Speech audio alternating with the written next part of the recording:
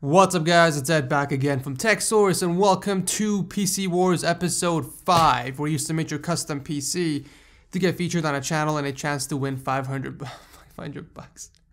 That's what you think. What's up guys, it's Ed back again from TechSource and welcome to PC Wars episode 5 where you submit your custom PC to get featured on a channel and a chance to win 100 bucks.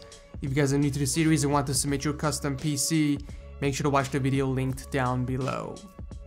So with all that said and done, let the PC wars begin.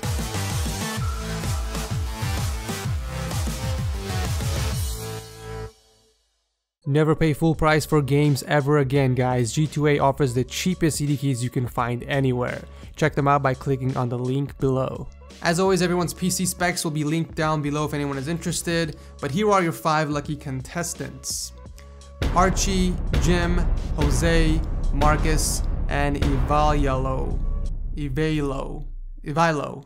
Congratulations for making it to PC Wars episode 5. First up is Archie with his PC build MK2, an i5 4670 clocked at 4.2.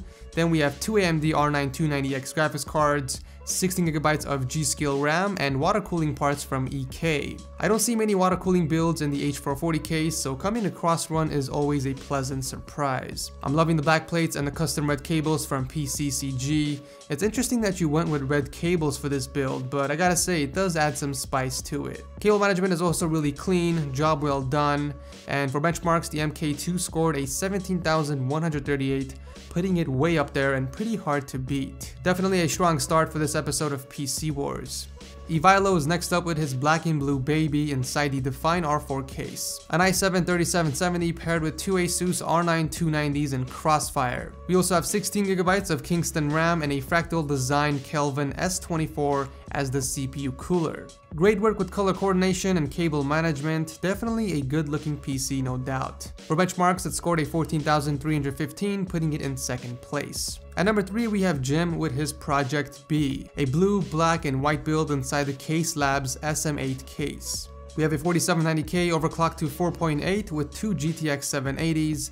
We also have 8GB of RAM from Kingston and water cooling parts from EK yet again. Some of the mods include custom painted fan rings from Corsair, GPU engravings, a painted SLI bridge cover, and a custom blue acrylic floor. For benchmarks, it scored a 16,219, putting it in second place for this episode. Next up is Jose with Monster Red, yet another water-cooled build, but this time inside the Air 540 case. A 4930K clock to 4.6, and we have two GTX 780 Ti Superclocked Edition and SLI, and 32GB of RAM from Corsair. Water cooling parts from EK as always, along with some mods that include a painted SLI bridge, painted SSDs, and even part of the case is painted red.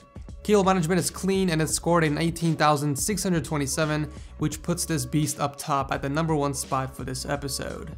Last but not least, we have Marcus and his black and blue build Ayana, which has a 4690 and a GTX 970. The PC also has 8GB of RAM from G-Skill and a Cooler Master 212 Evo to keep things cool. It scored a 9736 on Firestrike, which puts it in last place, but overall a really good looking black and blue build inside the NZXT S340 case. So that's it for this episode of PC Wars. As always, make sure you guys drop your comments down below and vote on who has the best custom PC.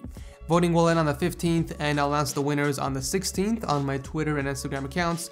So make sure you guys are following me there. But that's basically it. Thank you guys for watching. If you enjoy PC Wars, make sure to hit that like button and I'll see you in the next video.